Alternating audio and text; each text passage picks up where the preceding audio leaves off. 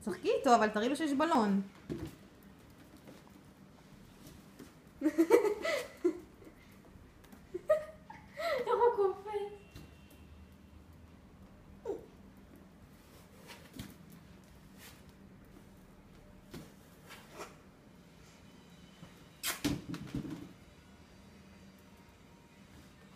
שימי לו אותו על הרצפה. נותן בזה ביס.